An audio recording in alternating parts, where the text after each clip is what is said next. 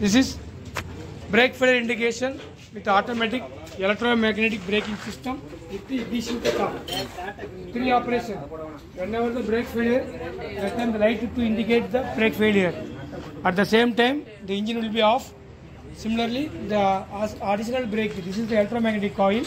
The 12 volt number of turns number of tanks uh, uh, 1000 tanks. This is the plunger dia 30 mm, stroke length 60 mm. So it will be pull that coil, whenever energy is that then the brake will be applied. This is the uh, drum brake system with the scooty wheel. The shaft 15 mm diameter shaft, the bearing 6202 ball bearing. Then this is the engine 0 100 cc, 4 stroke petrol engine. This is the petrol tank, 2 liter petrol is activated with plus petrol. These are the ignition coils to sparking petrol. Whenever the brake failure, normal condition, the brake will be like this much only it will go. Whenever brake is failure means due to the brake wear or come, uh, while braking, the, that lever is going to this side, this much level. So that time this, the IR sensor detects automatically on the relay. This is the big relay. This is small relay. This is two small relay. One for indication relay, one for ignition relay, one for braking relay. Three relay. This is two relay, small relay. This is one for indication, light indication. One more is ignition. This is relay for uh, electromagnetic coil. Now, after light is on, you go to first you go to do this two black, one small red. After light is glow, then only you go to connect this wire. Last. Finally you go to connect the big red wire. So if you if you not light is on, the alignment is not correct. The sensor you go to align correctly. So then only the light will be on. Then only the system will be starting also. But uh, you go to start the engine.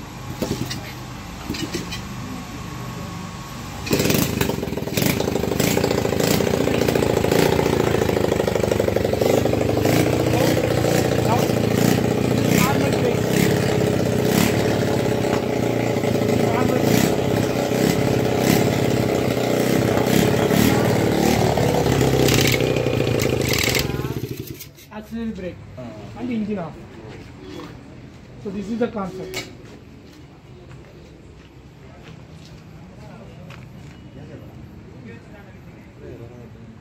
നമ്മൾ കൈ കൊണ്ട് തിരിക്കണം break apply ஆகுதுன்னு பார்க்கறது கை கொண்டு தான் இருக்கணும் clutch പിടിച്ച് കീറിട്ട് തിരിഞ്ഞോണ്ട് அது தெரியும் இது வெயிட் பண்ணு நோக்கம் இரு அதெல்லாம் வந்து உனக்கு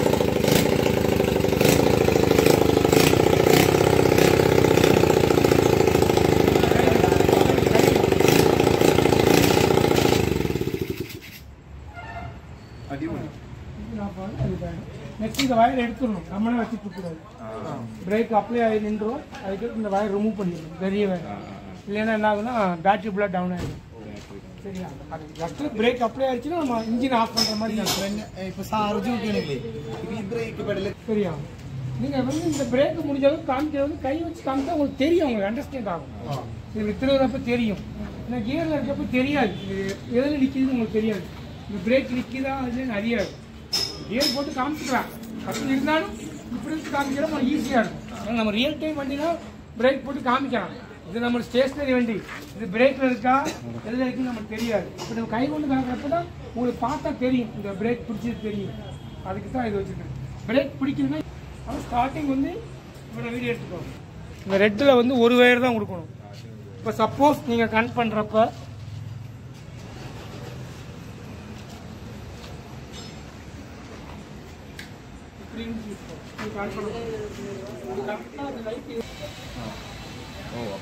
அப்போ தான் வந்து சர்க்கியூட் இல்லாமல் இன்ஜின் ஒர்க் ஆகுதான்னு அறியும்.